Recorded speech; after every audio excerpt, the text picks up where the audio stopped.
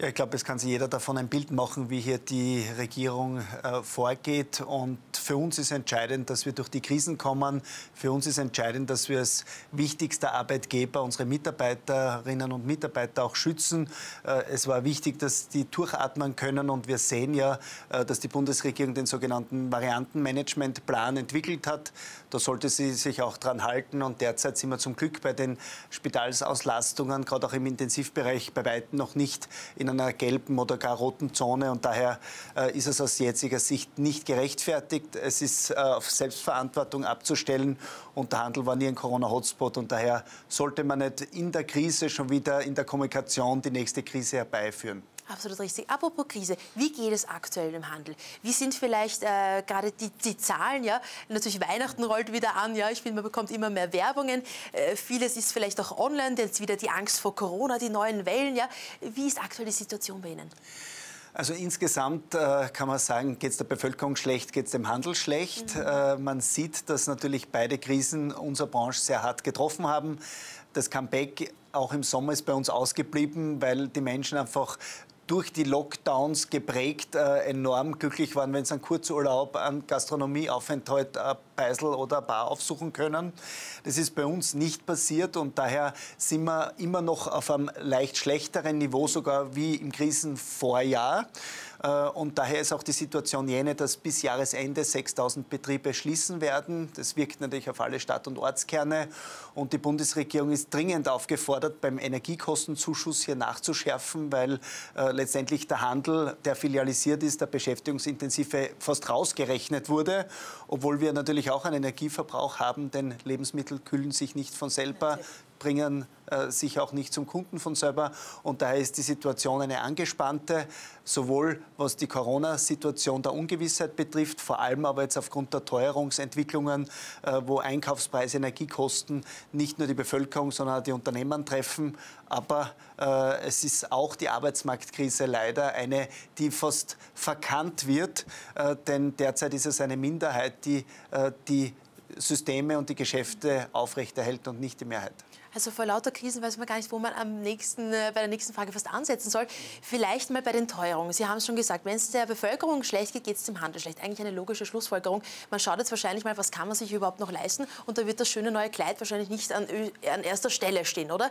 Das heißt, wie kann man da dagegen wirken? Wie kann man das irgendwie versuchen, attraktiv zu machen oder auch die Mitarbeiter, äh, wie soll ich sagen, positiv zu stimmen, zu sagen, es, es, es wird äh, besser werden, hoffentlich. Ja? Was, was gibt es da für Möglichkeiten oder auch Wünsche vielleicht an die Regierung? Regierung, wie man das irgendwie steuern könnte? Der Wunsch ist, dass man kapiert, was hier passiert. Und es ist zum einen äh, die Energiekosten, die sich natürlich verstärkt haben. Das hat jetzt jeder verstanden. Wenn alles vertankt und für die eigenen vier Wände an Elektrizität verbraucht wird, dann bleibt weniger für Konsumprodukte.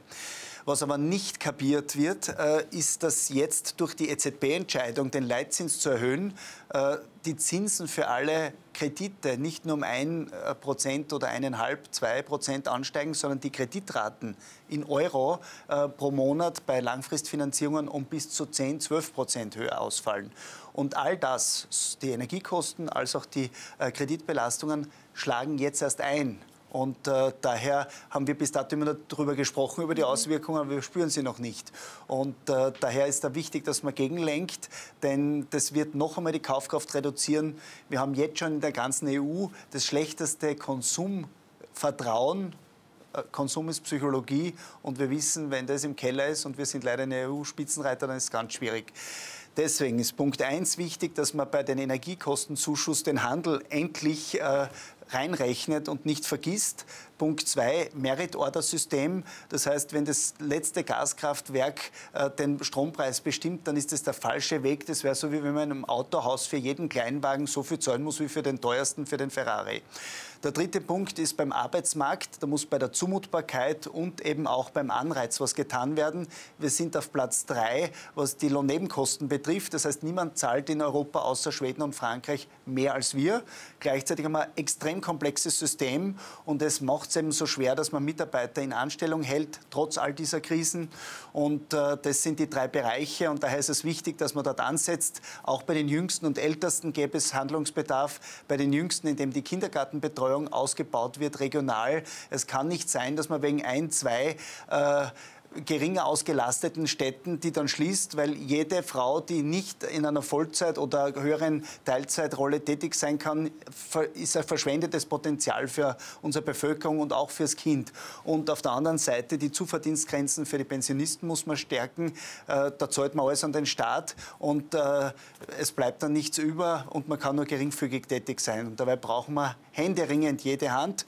Und äh, ich kann nur sagen, es wäre wichtig, dass man versteht, dass derzeit die Auswirkungen der kriegerischen Auseinandersetzung und der Sanktionen vom Mittelstand im Unternehmertum und von den Bürgern finanziert wird, äh, weil man dann die Teuerung, die man auch künstlich herbeigeführt hat, äh, mit einem einer Zinserhöhung äh, bekämpfen möchte und damit wird nur der Kredit für jeden teurer und äh, es wird weniger investiert und mehr aufs Konto gelegt.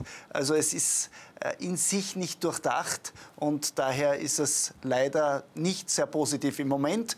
Wir hoffen, dass nach der Präsidentschaftswahl jetzt wieder mehr Verstand einkehrt, um die echten Krisen zu bekämpfen. Noch ist es nicht zu so spät, das ist das Gute. Noch sind die Unternehmen und die äh, Beschäftigten nicht essentiell betroffen, aber wir stehen davor und wenn man jetzt nicht äh, die richtigen Schlüsse zieht, dann kann es zu spät sein. Sie haben schon am Anfang äh, erwähnt, um die 6000 Unternehmen könnten zuspenden. Das ist ja unglaublich. Das, das ist, sind immer so Zahlen, so wie die Politiker immer Zahlen einwerfen. Aber das sind ja Schicksale, das sind Familien, das sind unglaublich äh, viele Leben, die da absolut bedroht werden. Sie, Chef des Handelsverbands, wie viele Leute kommen zu Ihnen? Wie viel Angst spüren Sie aktuell in der Bevölkerung?